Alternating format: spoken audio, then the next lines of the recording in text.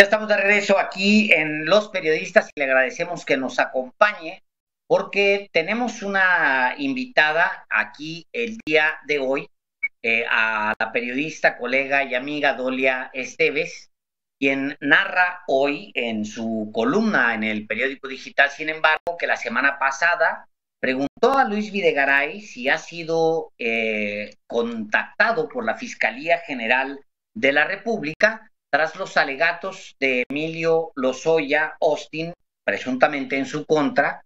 También le preguntó si tiene abogado y cómo responde a las imputaciones que hace Lozoya sobre su participación en la compra de agronitrogenados. Pues sí, Videgaray, este personaje que fue secretario de Hacienda y canciller en el sexenio de Enrique Peña Nieto, de cuya campaña fue el coordinador general, le respondió a Doria Esteves de manera textual lo siguiente. Desde que salí del gobierno de México me he abstenido de dar entrevistas o publicar opiniones en medios o redes sociales. Sigo apegado a esta decisión personal y agradezco mucho tu comprensión reitero mi compromiso de que cuando decida hacer públicas mis opiniones, será un gusto conversar contigo. Pero Dolia Esteves cuenta hoy un poco más de esa conversación en corto que tuvo breve eh, con Luis Videgaray. En realidad, esto es porque el que fuera el poderoso secretario de Hacienda y también secretario de Relaciones Exteriores de México rompió su silencio político en febrero pasado, cuando un estudiante lo confrontó sobre, su papel en Odebrecht, en Pemex, que el caso de Emilio Lozoya, por OHL, por la malversación de fondos para las campañas priistas, por Monex y por Soriana, esto en el marco de una conferencia sobre inteligencia artificial en el Instituto Tecnológico de Massachusetts, ¿Dónde trabaja Videgaray Caso. Sí, eh, el estudiante quien dijo llamarse Alfonso y cursar el último año de matemáticas, le dijo, valdría la pena abordarlos en el contexto de su discurso sobre confianza y democracia, porque se me ocurre que es el enorme elefante en el cuarto. Híjole, Videgaray le responde, defiendo mi trayectoria y mis acciones. Obviamente, como hacedor de política, hice cosas buenas y cometí errores, pero aprendí mucho. Con gusto hablo contigo cuando quieras. La puerta de mi oficina siempre estará abierta y podemos discutirla. Sí, Dolia, nuestra compañera, nuestra colega Dolia Esteves recuerda que Videgaray vive en una burbuja académica, solo en un pequeño departamento a unos pasos del campus universitario, fuera de los reflectores, concentrado en su trabajo, dando clases y conferencias, bueno, hasta antes de la pandemia. Adoptó el look del desenfadado profesor con chaqueta sport y camisa de color.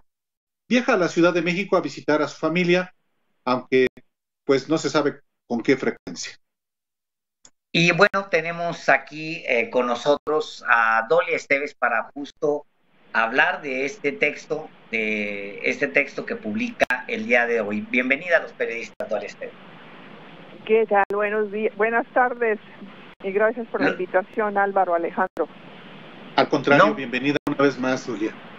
No puedo, Dolia, perdón, con el look del desenfadado profesor, que no, no puedo con el look del desenfadado profesor con chaqueta sport y camisa de color. O sea, se quitó los trajes Armani y se puso ahora este sus este chaquetas sport estas que tienen aquí en eh, de, estas que usa Álvaro Delgado que tienen parches en la en, la parte de acá de, los codos gamuza en los codos sí e incluso si si uno ve el video que, que acabo de poner en el internet en, en Twitter el, el video de YouTube sí tiene ya hasta un lenguaje corporal de profesor.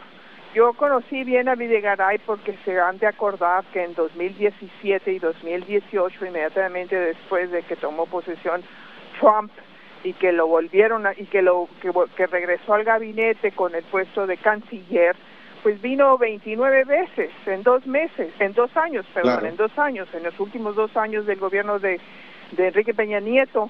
Entonces, pues lo veíamos con mucha frecuencia y sí, en efecto, siempre venía muy este, bien vestido, con impecables eh, trajes y corbatas de seda y, y, muy, muy, muy formal su comportamiento eh, y en las, las veces que nos veía, porque muchas veces venía y no, pues no veía a la prensa, a los corresponsales. Y lo vi en este video y sí, ya es este pues se ve relajado, dando clases, o, bueno, en, el video no es una clase, sino es una conferencia, como dijeron correctamente, sobre inteligencia artificial, y ha, habido, hubo otra donde también, este, pero ese fue ya por Zoom, porque ya no, ya no se puede hacer nada en persona por la, por la, por la pandemia y también así, ese, ese es el look que trae ahora de profesor, porque pues eso es lo que es. Eh, más Y me dicen que creo que por el momento a lo mejor ni ya ni esté dando clases porque está muy metido en la investigación para lo cual fue contratado sobre inteligencia artificial. De hecho, le acaban de ampliar la, eh, su, su, su, eh, su estancia en MIT eh, como director de este centro de, para estudio de artificio, se llama Proyecto Mundial sobre Política de Inteligencia Artificial y, eh, y también es director del Instituto de Investigaciones sobre Políticas de Internet y la, la, directora de Relaciones con Medios me dijo que sí, que acababan de, que seguía ahí él como profesor senior, visitante senior. Entonces, pues deben de estar contentos con su trabajo, con su presencia. Me dicen que es muy amigo del presidente de MIT. Hay que recordar que él se graduó, eh, tiene su doctorado en economía eh, de, MIT en 1998.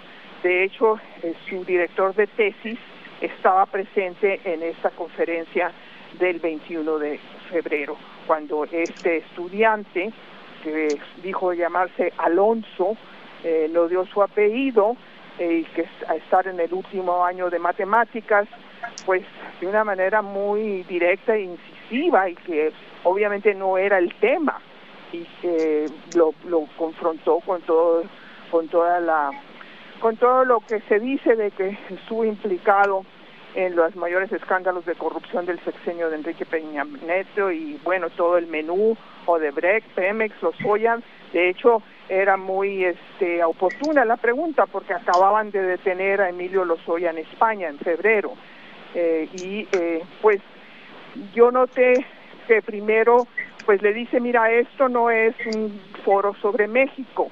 Eh, y esto, pero luego y, le dice, con mucho gusto podemos hablar, las, las puertas de mi oficina de mi oficina están abiertas pero luego como que hace una pequeña pausa y dice, más vale que deje bien establecido mi posición aquí, y por eso es que dijo, defiendo mi trayectoria y mis acciones, obviamente como hacedor de política, pues eh, hice buenas cosas y cometí errores, pero aprendí mucho. Básicamente eso es, fue lo que dijo. Ahora, a mí me llamó la atención que por primera vez dice cometí errores. Nunca había yo escuchado a decir al doctor Luis Videgaray que cometió un error. Efectivamente, es muy raro, eh, Dolia, que un político admita justamente equivocaciones. Eh, hay casi siempre una justificación para cada una de las decisiones o de las omisiones que eh, en el gobierno o en el ejercicio de la política se, se toman o se cometen y en este caso efectivamente a mí también me brincó este, este, este reconocimiento de eh, error, de, que todo no lo hizo bien. Ahora, eh, hoy hay un contexto en el que ya hay, pues por lo menos, eh,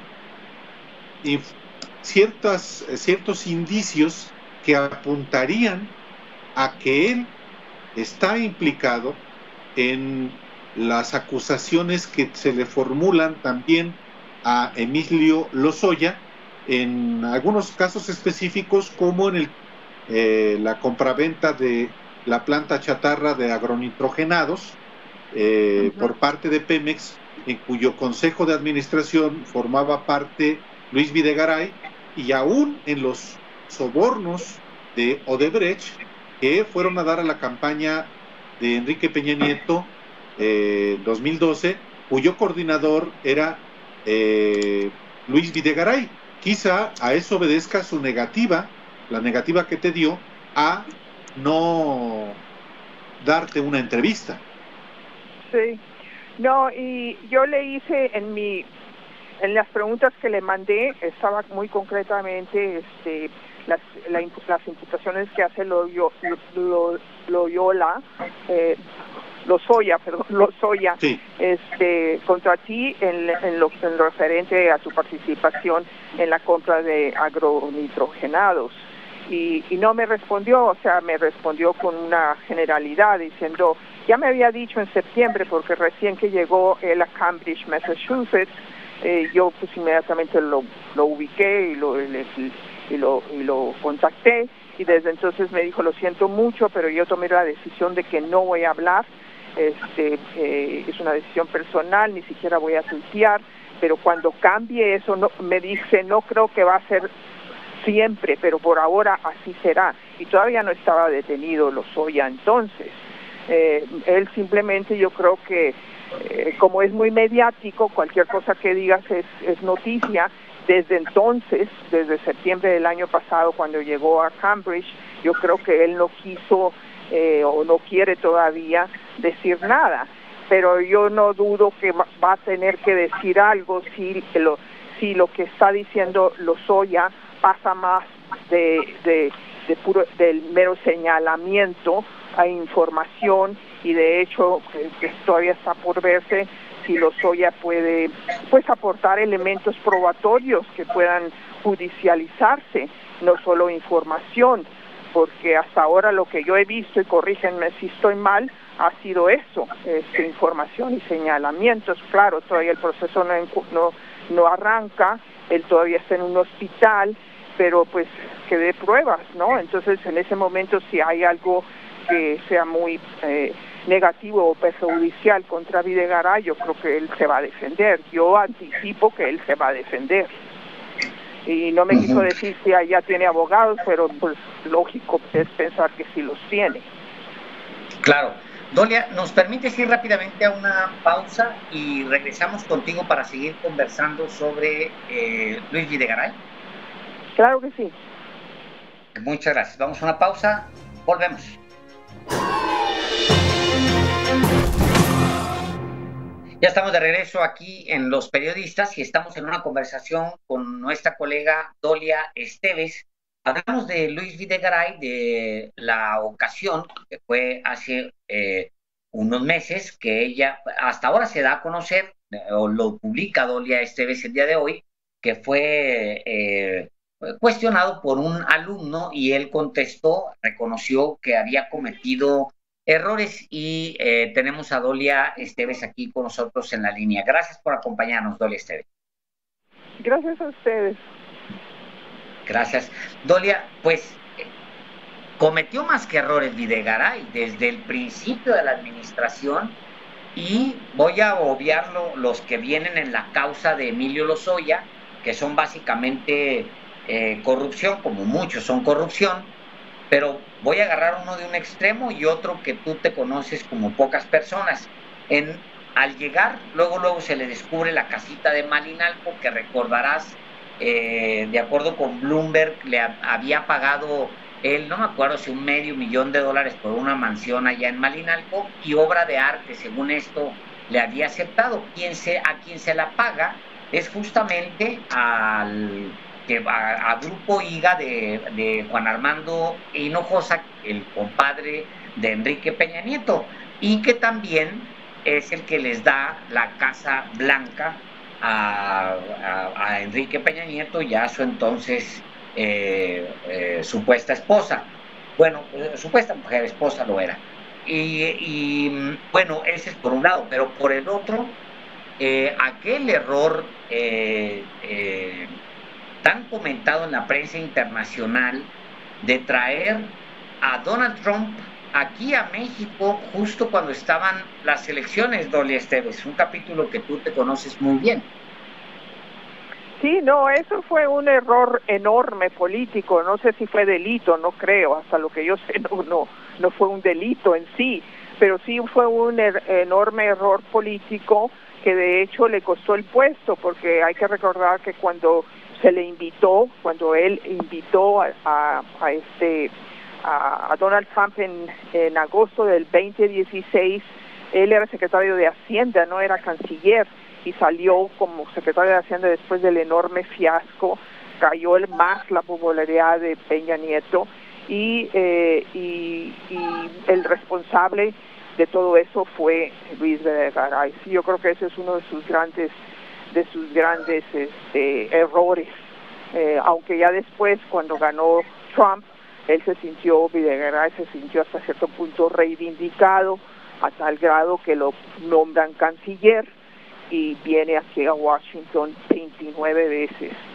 Eh, yo creo que cuando él dice hice cosas buenas, una de las cosas buenas que yo imagino que él cree que, que, es positivo en su gestión eh, es eh, el hecho de que frenó junto con Kushner, eso está documentado, de que el señor Trump se saliera de se saliera del, del Telecán, porque si se acuerdan en eso en, el 2017 amenazó con, con salirse del Telecán y estaba a punto de salirse del Telecán y eh, hubo eh, varios de los viajes de Videgaray obedecieron a eso eh, además de que Kushner y Videgaray presionaron a Trump para que no para que no se, para que México para que Estados Unidos no se retirara unilateralmente o, diera el aviso al Congreso de que se iba a retirar porque no es no puede ser de un día para otro la industria de Estados Unidos la Cámara de Comercio muy poderosa de, de Estados Unidos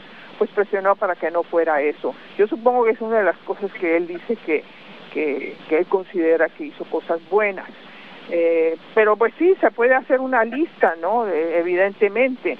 Ahora, lo que está en el contexto en que estamos hablando sobre Videgaray es en el contexto de las imputaciones que le está haciendo Lozoya.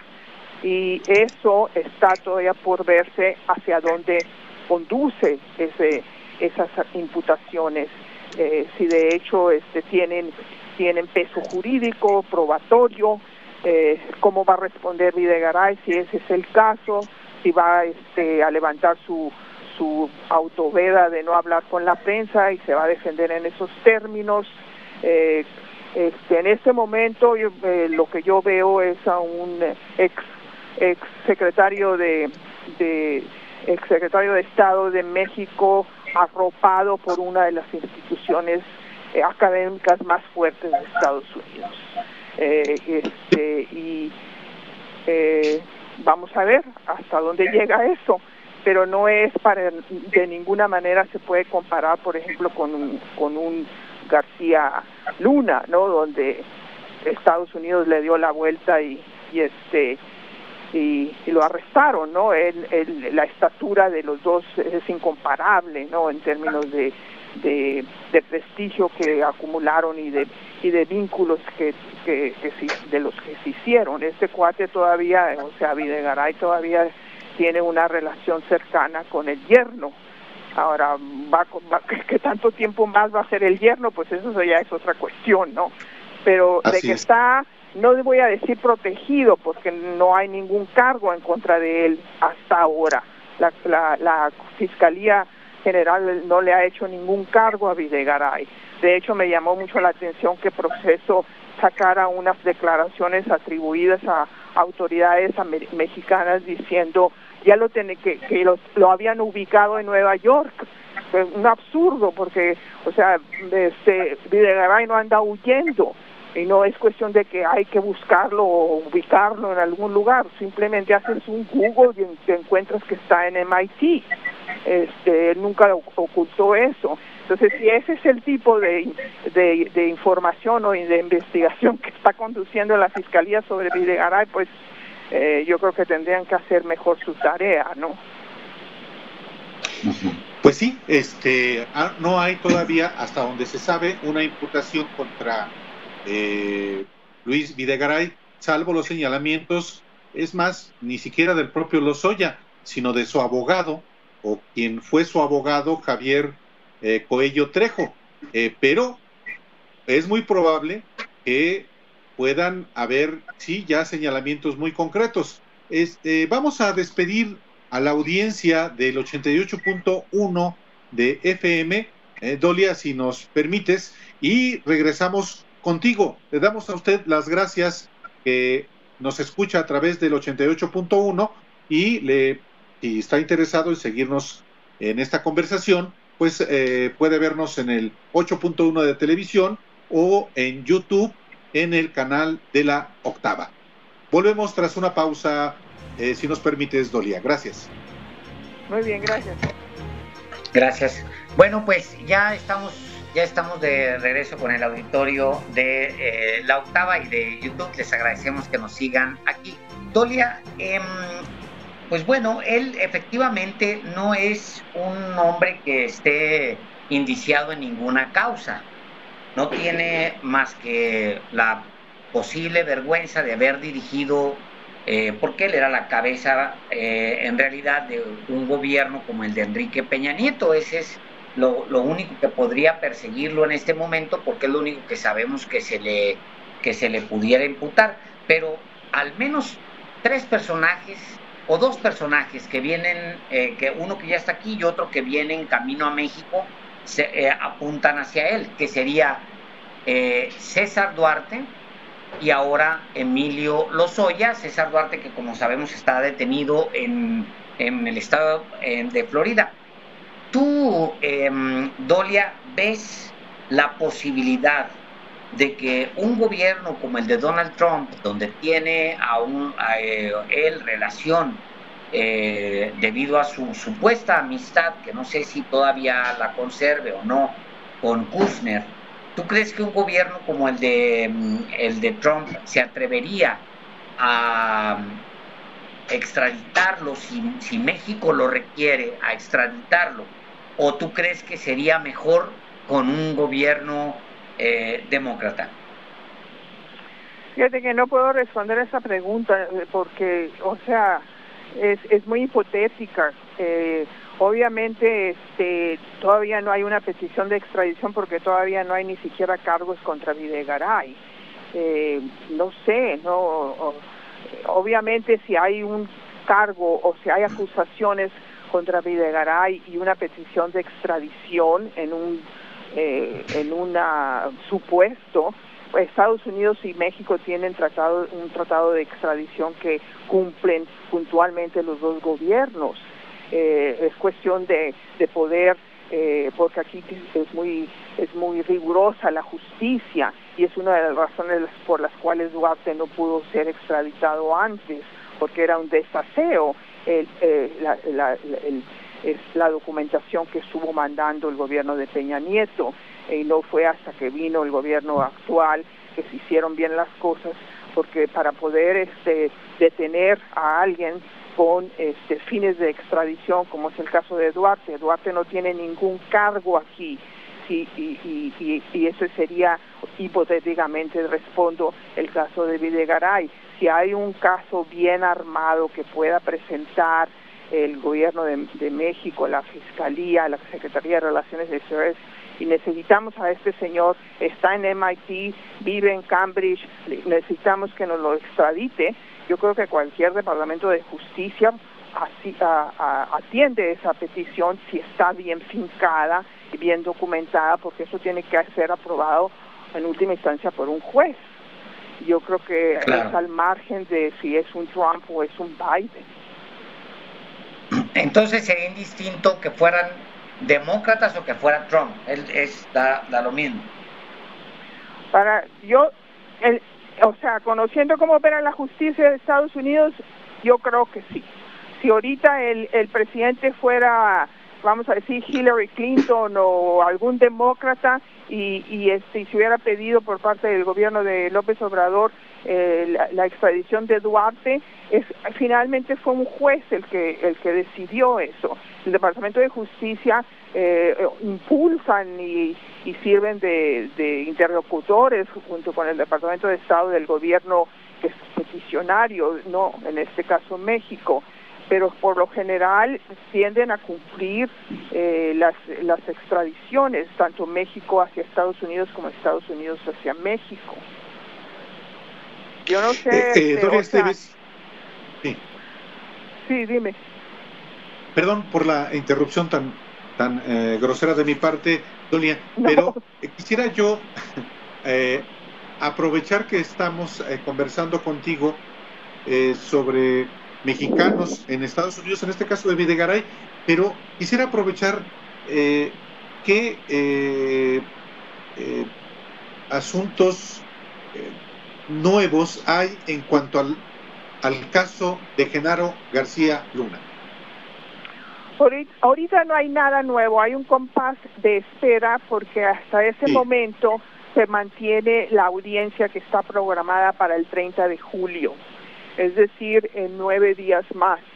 Eh, hay una audiencia que le llaman de estatus eh, y pues, eh, creemos, aunque no es hasta un día antes que, que, que, se sabe si va a ser en persona o, o por videoconferencia, pero de que está agendada a las diez y media de la mañana, creo, del día 30 en Nueva York, en el mismo tribunal en Brooklyn, New York, Nueva York, eh, eso es lo único. Entonces, ah, probablemente hacia la semana que entra, porque así suele ser el proceso, poco antes de la audiencia, eh, tanto la defensa como la fiscalía puedan presentar eh, nuevos documentos. probablemente, no sé en qué sentido, hasta lo que yo sé, no está negociando García Luna con, con los fiscales. Hay versiones de otros periodistas que dicen que sí están negociando. Yo no he visto ningún documento en ese sentido y la última vez que me comuniqué con el abogado de Castro, que es el, abogado de oficio que le puso la corte a García Luna, él me dijo que estaba decidido a no negociar. Mm. o, sea, no, o sea, no arreglarse, pues no negociar con la fiscalía a cambio de una menor sentencia y, colaborar con ellos. Hasta lo, hasta lo último que se sabe es que no estaba dispuesto a hacerlo. Puede cambiar, puede cambiar, claro. Don Esteves, como siempre, un enorme gusto tenerte aquí con nosotros en Los Periodistas. Gracias a ustedes por la invitación y buenas noches. Muy buenas noches, Hasta luego. Hasta luego. Bien.